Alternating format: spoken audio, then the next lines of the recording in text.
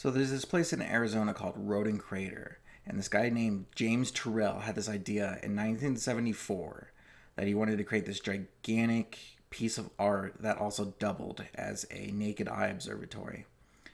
And it began construction in 1970, 1979 and has been going ever since. And it still has a few years, uh, depending on the funding that they get.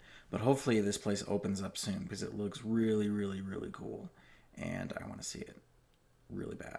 I think it's probably on my number one places I want to see in my life. So, so the next thing is a video uh, from the 1970s of this guy named Sidney Cohen who tests LSD on his housewife, and she's this just normal, cute little housewife, and he gives her a little bit of LSD in a glass of water and they film her reaction and you know what happens. So it's not like some crazy hippie beatnik person, you know, taking LSD under a bridge or something.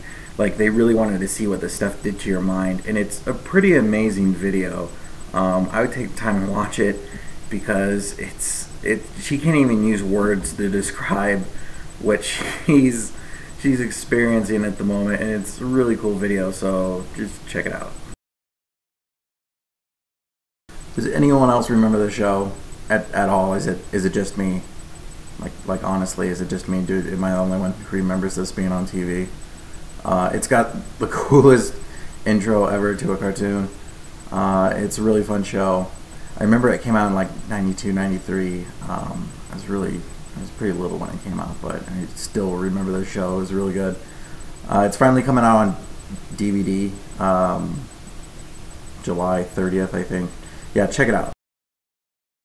Thank you for watching if you've made it this far into the video. Uh, this is the very first video that I've done. Um, it's just something that I've wanted to do for a long time and thank you for watching. I would enjoy any sort of feedback. You can hit me up on Facebook or leave a comment.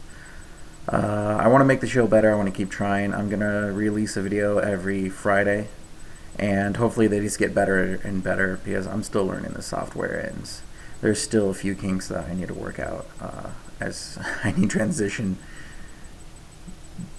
sound. Yeah, that's what I need. I need some transitions sound because it's it's non-existent and it's sort of awkward. But I thought I would just finish this video and get it done and put it out there and see what you guys think. Uh, yeah, so thanks again for watching and I will see you next Friday.